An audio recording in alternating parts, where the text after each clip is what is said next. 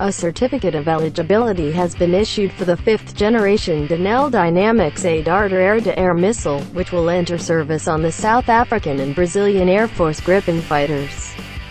Denel said the A Darter formal qualification review was completed in August 2019 and certification authorities from Brazil and South Africa gave final approval for the issuance of type certificate in September 2019.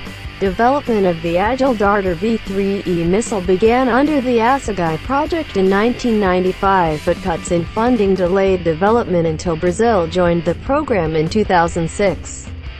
Avibras Brazil helped develop a rocket motor, Opto Eletronica with a head search and Mectron, now SIATT, brings experience as a Brazilian missile manufacturer in this project.